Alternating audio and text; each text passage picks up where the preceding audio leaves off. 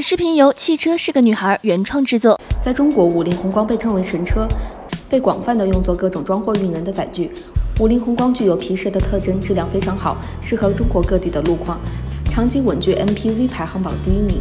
而作为五菱宏光的竞争对手，长安上昂是最能与五菱相抗衡的车型，曾一度差点超过五菱宏光，成为霸主。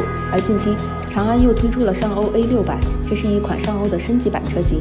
售价位于五点九八至八点四九万元之间，长安又一次对五菱宏光发起了冲击。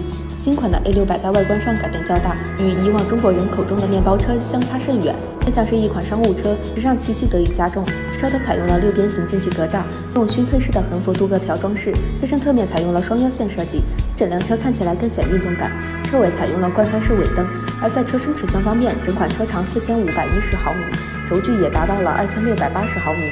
较以前的版本内部空间更大，而在内饰方面，中控台的设计看起来非常丰富。这款车还配备了遥控钥匙、后座出风口、天窗、内置行车记录仪等配置，可以说是非常齐全了。内饰方面完全高于七三零，完全适合平时的驾驶。